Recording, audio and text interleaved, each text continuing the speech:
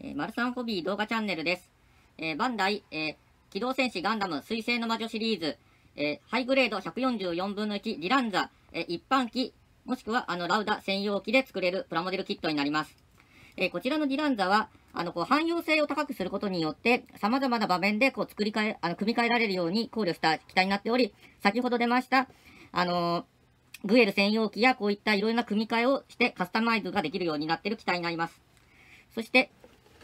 こちらが、え、メーカーで塗装組み立てしたモデルになります。こちらが一般タイプで、こちらが、えー、ラウダ専用機で、このラウダっていうあのキャラクターは、あのジェダーク寮の副寮長を務めてる、えー、キャラクターになります。で、あとこちらが、えー、稼働する、こう、いろいろな部分の説明になっておりまして、作った後でも、こういった武器を使った大きなアクションポーズを取ったりとか、あと、え、別売りのアクションベースを使うと、このような大胆なポーズも取れるようになります。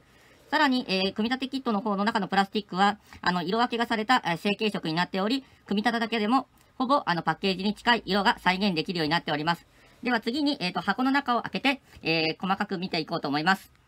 こちらが箱になっている、あの、えパーツの、え全部になります。まずこちらにあるのが、え本体の装甲の部分にある、えグリーンのパーツになります。この辺には腕や足などのパーツが主に入っています。あと、えー、こちらのシールの方で目の部分やセンサーの部分などを、え再現できるようになっております。あと、こちらの方は主にあのフレームに使う、えパーツになっています。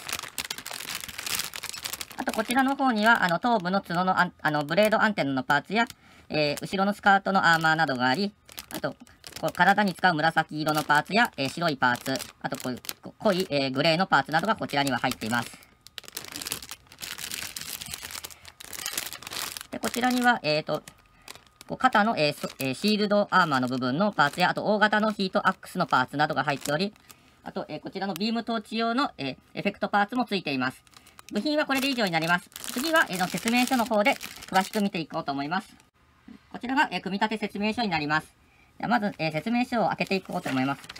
まず、え説明書を開けていきますと、この、え組み立ての、えアドバイスや、あと、え部品図があります。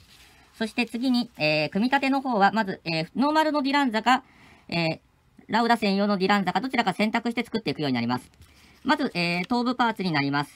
え、頭部の、あの、え、方に、このカメラのところの、え、パーツをつけていきまして、で、上の、え、パーツをつけていきます。そして、ノーマルの場合のアンテナブレードと、えー、ラウダ専用のアンテナブレード、こちらの方と選択して作っていきます。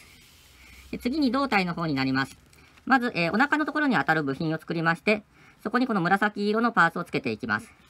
そして、えー、お腹の、あ、前のところにつく白いパーツをつけていきます。そしてそこに、えー、この濃い、えー、グレーのパーツをセットしていきまして、で、肩のつく関節のジョイントの部分を作ります。で、背中のパーツをはめまして、次に、えー、肩のところと、あの、首のパーツをつけていきます。で、次に、えっ、ー、と、腕の組み立てになります。こちらはまず基本のところを2つずつ作っていきます。まず、えっ、ー、と、肘関節を作りまして、えー、肘下のパーツを作っていきます。そして、えー、先ほど作ったあの肘関節をつけます。で、肘関節の、えー、アーマーのところをつけまして、次に、えー、二の腕のところのパーツをはめていきます。そして、この、えー、腕の横のところに円盤状のパーツを2つつけていきます。次に、えー、こちらが、えー、ノーマルバージョンのディランザと、ラウダ専用の、えー、ディランザの組み立てになります。まずは、えー、肩パーツ、こちらの方を、えー、作っていきます。そしたら、え、肩の、え、ジョイントのパーツを入れまして、この肩にセットします。そして手首パーツをつけます。そして、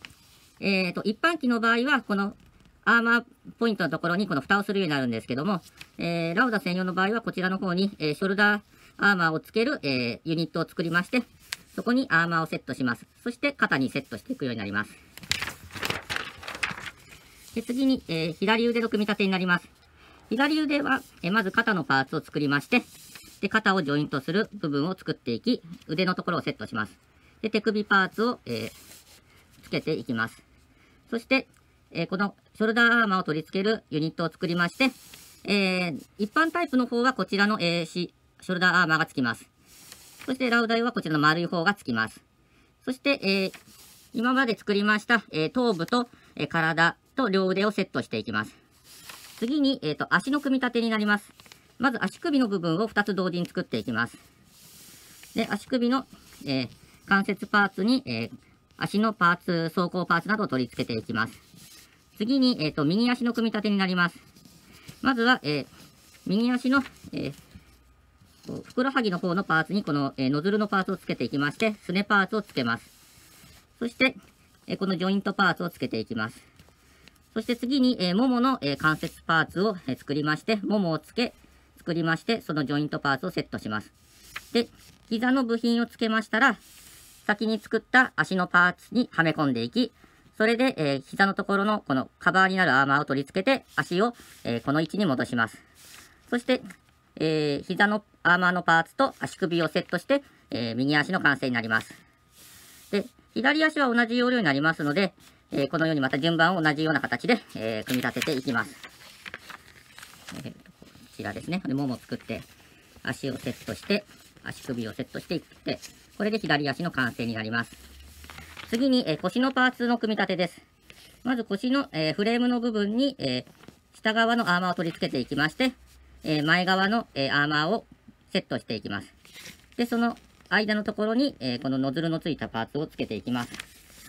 その次に、後ろにつくアーマーのパーツに、えー、この、え、フレームのパーツを取り付けまして、この横の、え、ところのアーマーを取り付けます。そうしましたら、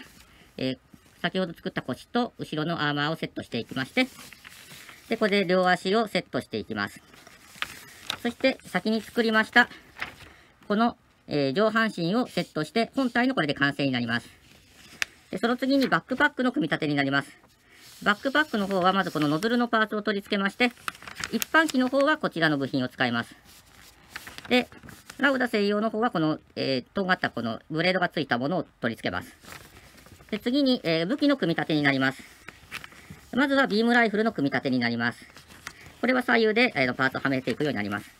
そして、こちらでマガジンをセットして、えー、この右腕もしくは左腕に持たすことができます。で、ビーム、あ、えっ、ー、と、このビームライフルの方は、あの、肩にマウントできるようになっておりますので、マガジンを外して、マガジンをこの、えっ、ー、と、えっ、ー、と、マガジンを外して、こちらの方の、えー、ところにセットして、さらに銃本体をセットすることができます。